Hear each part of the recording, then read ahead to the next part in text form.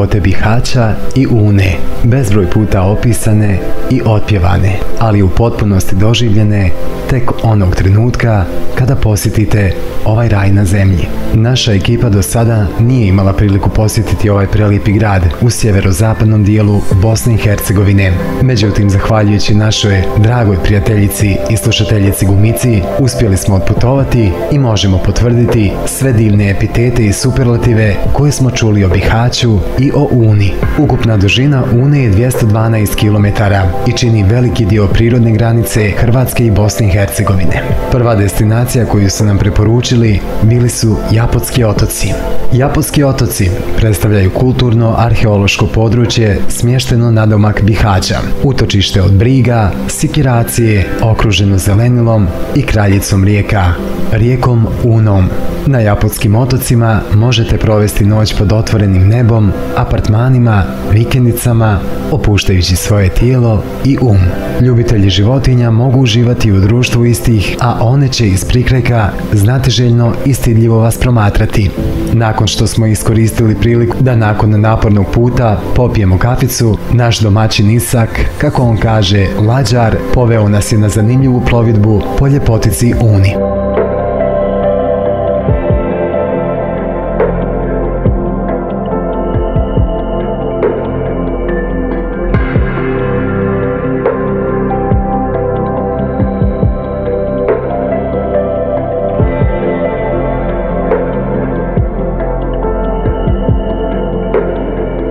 Dnevno turista prevezeš odavde ovako brzo? Ne znam više.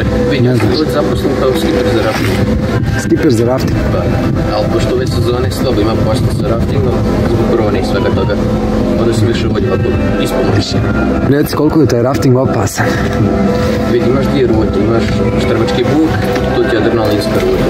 Tu može biti prevrtanje i svačega. A imaš i bilo kad kakvi ozlijede, svjedočio tome? Vidi, na raftingu i ako bude ozljed, to ti onako udriš se od sedru kad ispaneš. Ono, najgore što možeš biti jasno ako da ti ispane rame. Eto, to je neka... To je najgore, jel? Pa,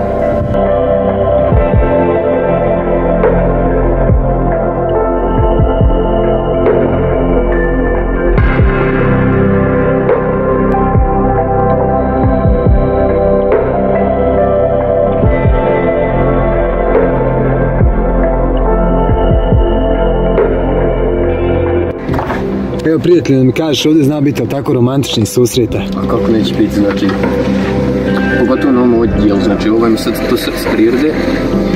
I to vam je onda romantika, pogotovo tamo oko 7-8 sati predvečer, tad vam sunce zađe i lagano se magla diže s one, onda se baš ono, malo budu tu svijeće, tu na lađi, bude fina atmosfera, to je ujedno i dobro, ono, ako odbije cure, onda možeš lagano uvod baciti, pod super dođe.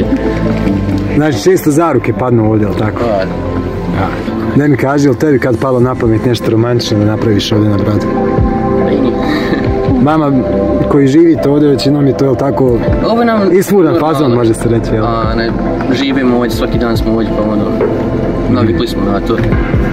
Evo mi smo ovdje kao ekipa Bet Radija fascinirani stvarno ljepotom Uni i Bihaća. Možeš li mi reći da li, si ti, da li si ti nekad imao priliku doći u Gradačac? Znaš li čemu je Gradačac poseban? Hm? Ne znam. Ne znaš?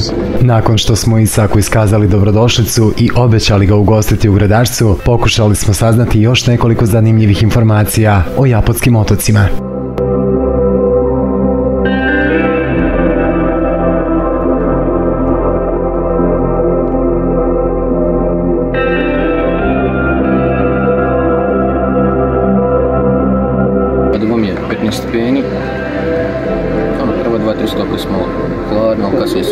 Super. Izgleda ovaj, jako bistro da li se pije. Bar na nekim mjestima. Vidim, ovdje su slapovi, tu ono gdje se voda kreće stalno, tu možete i piti. A ovdje već je ovom sam površinski sloj zagađen, to ono, kod lišća oko ne, tako to. Ali inače se može piti. Jer ovdje, izvor odavde ti je izvor Une, 50 km odavde. Da. I onaj, izvor vam je u Hrvatskoj, mjesto Srb. I odmah nakon par kilometara vam kreće nacionalni park Una. Na nacionalni park završava ovdje nadaleko 3-4 km odavde. I onaj, cijelim tim dijelom nije mogu ništa zagriti tunu jer onaj, tu mi je zabranjena gradnja bilo čega. A, znači tu završavam. U troslopu do ovdje imate možda 50 vikendica maksimalno. Tako da nije nešto mogu toliko zagriti. Koliko je komplikovano dobiti ovdje dozvolu za gradnju vikendica? Je lako dobiti? Da imaš vikendicu na Uni? Vidi, sad ti to zabranjen gradnja na ovu zonu. To ono većinom što do sada već postoji, pa onda se možeš nadograditi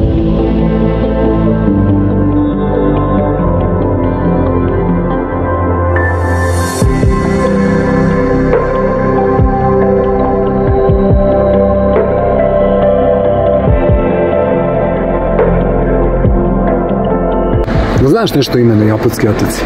Vidi, znam samo da ono po starim primjerima i povodi. Ali sad dalje ne... Šta su Japodi, su bili narod neki ili... Pa, Da. E, ono što je meni bilo zanimljivo prilikom dolaska na ove otoke jest ova, ovo brdo gore, ova planina, ne znam ja šta je, a meni liči kao neke visočke piramide, pa da mi reci, je li kad niko posumnjao da li su ovo piramide? a vidi, postoji ima postoje sad kad, ali sad, pa će ga znaš. Nije još niko dođe do... do... Svi onako, vidi, izgled izgleda kao piramida. A ne. Tačno izgleda kao piramide. Na vrhu imate to...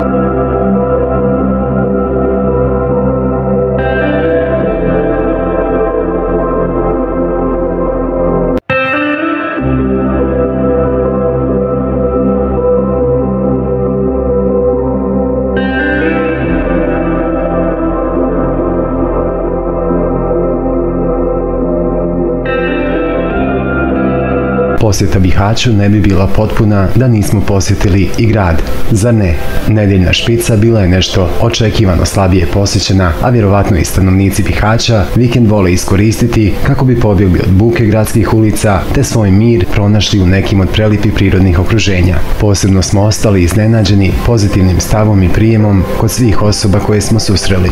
Kažu da krajišnike prati reputacija ljutih osoba sa stavom, ali mi smo upoznali samo nasmijana lica, spremna na šalu i svaki vid saradnje. Budući da smo kao ekipa prvi put u Bihaću, više informacija o turističkoj ponudi i situaciji sa migrantima te ostalim zanimljivim temama dobili smo od našeg sagovornika Emira.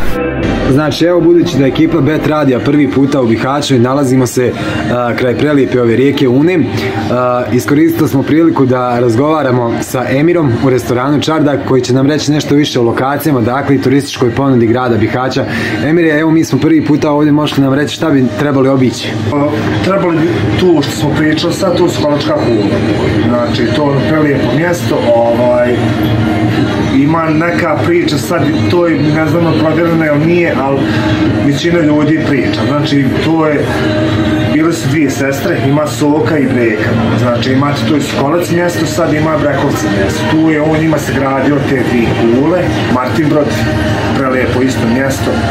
Ovaj, mala fleksica do Štrbačkog taj asfalt što nisi, ima ti 11 km što i dan danas nije ušte asfalt, asfalt, asfaltiran. Ovaj, japonske otoke bili ste.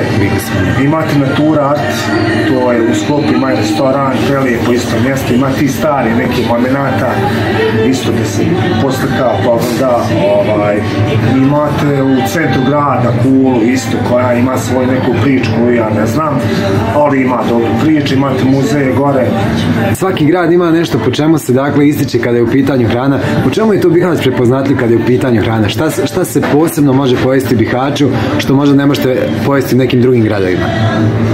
Pa evo, na primjer, što se tiče restorana, nisi imati tu i, i, i starije hrane, ovaj stare, te tipa kljukuše, graha i do svi ovi moderni, do ovih plata, do, do krajiške šnicle, od super šnicla, čardak šnicla je naša isto super. Ćevapi su drugi možda u zemlji posle Sarajeva. Problem sa migrantima u posljednje vrijeme u Bihaću ono što mi možemo vidjeti ovdje uz rijeku Unu, veliki je broj migranata i u Gradarcu ih ima, međutim, ni blizu ovoliko kao što vidimo u Bihaću, a ovo traje već duže vrijeme, kako se građani Bihaća nose s tim, da li vas je strah, da li ste navikli na njih, da... tiče mene lično, ovaj, strah ne postoji. Čak neke priče koje sam čitao iz, iz baš medija, mi, mi dalje migriramo. Mi migriramo.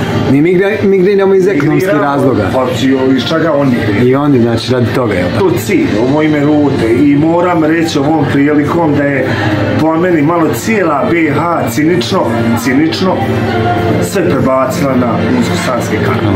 Cinično, što nije u redu nikako, da jedan grad 60.000 sa okolinom, da, da, da, da to trpi, po meni to nije u redu.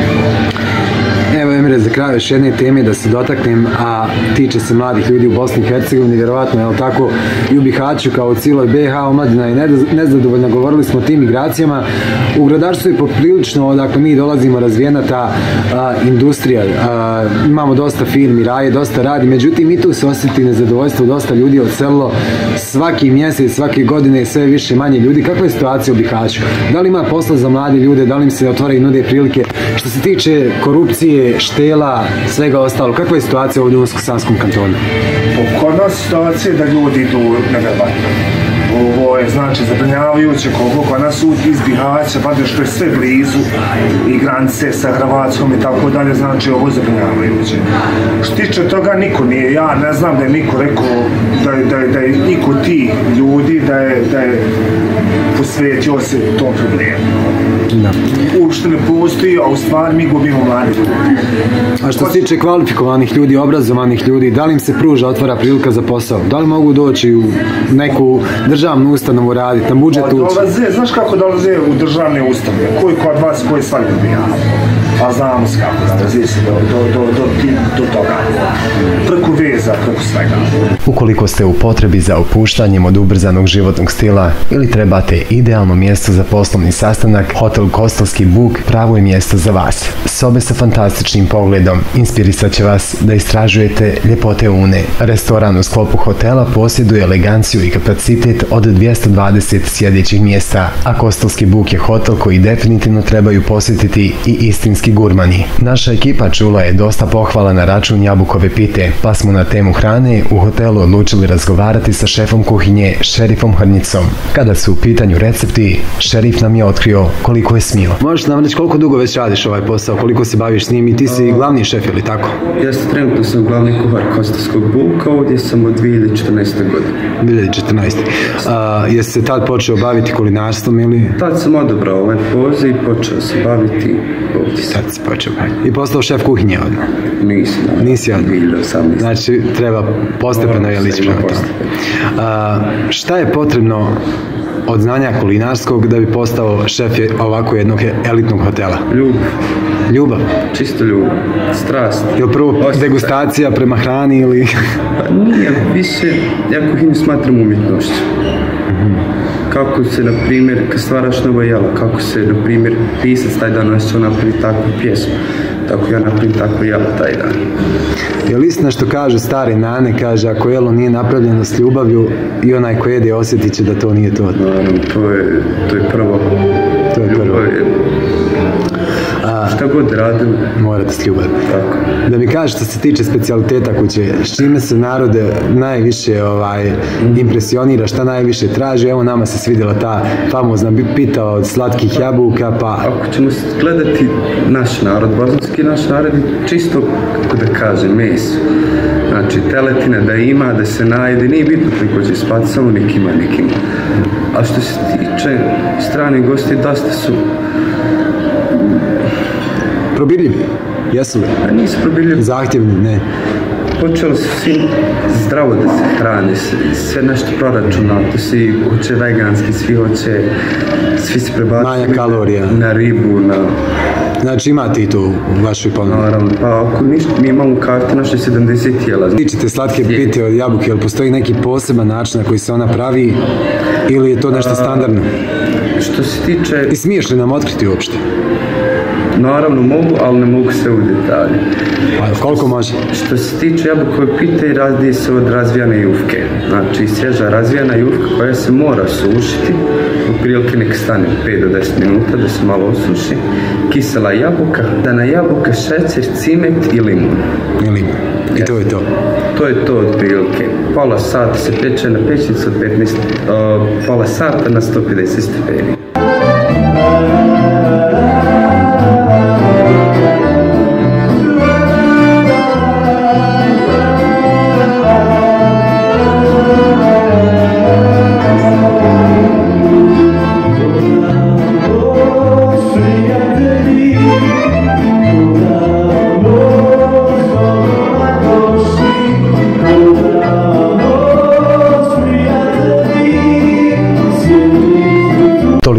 Destinacija za obići, a tako malo vremena. Čuli smo i dosta lijepih informacija o mjestu Ostrožac u blizini Cazina, tako da smo jednoglasno odlučili da će u povratku kući to biti mjesto koje moramo posjetiti. Tamo nas je čekala srednjovjekovna tvrđava, skulpture i ljubazni domaćin Mirsad Braco Dizdarević. Tako, pošto ovaj... Možemo li vas i mi zvati braca, iako nas prvi put vidite u životu? može, Uh, možete nam braca nešto malo više reći o ovom kompleksu? Šta se ovdje nalazi, kakve su skulpture? Tvrđava se zove Stari grad Ostrožac. Ona je rađena u tri vremenska perioda. Ovaj dio ulazna, ova kružna kula, ona je najstarija, ona se vodi u arhivi do 1286. A postoje tvrdnja da je rađena često pet godina prije naše su postavnike je malo manje zidno od ovih. Onda dolaskom Turaka na ove prostore 1579. rađeni svi ove okolo zidovi, znači. Oni su bili tu neki nepuni 300 godina, pa su na osnovu toga dobili nasljedno pravo na tvrđavom, tako da su s njom mogli činiti šta hoće. Pa je to Mehmed Beg Beširević prodao Austrijancu, koji se zvao Berg von Lotar. Taj Austrijanac kada je kupio tvrđavu, onda on se gradio ovdje ovu kulu, dole imate zamak, kad prođe dole kroz ona ima zamak. On to počeo raditi 1900. te 1900 druge već se nastanio i živio s porodicom do, do početka drugog svjetskog rata.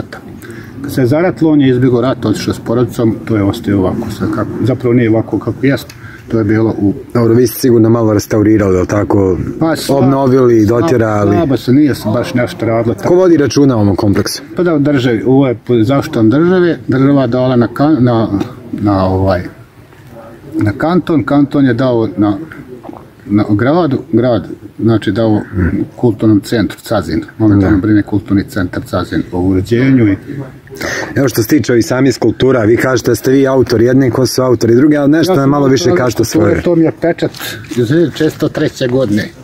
Pečat Ostrošca, znači mi smo bili opština prije Cazina. U to vrijeme, znači to je naš pečat. A skulpture su iz novijeg vremena. To je prva, ovaj, danas, ovaj, ova godina je bila 53. godina kako ti kipari dolaze na ove prostore, urade tako po neki, neku skulpturu i to ostaje. I ostaju u trajnom vlasništvu. Da, da. Evo što se tiče turizma, koliko je ovo privlačna destinacija za turiste? Pa bude turista, sad posebno ove godine malo je, nije malo, već malo više lošije, dosta je lošije, pošto ova korona i ovo, a inače ona pret, ove godine su bile posjećivanje bilo.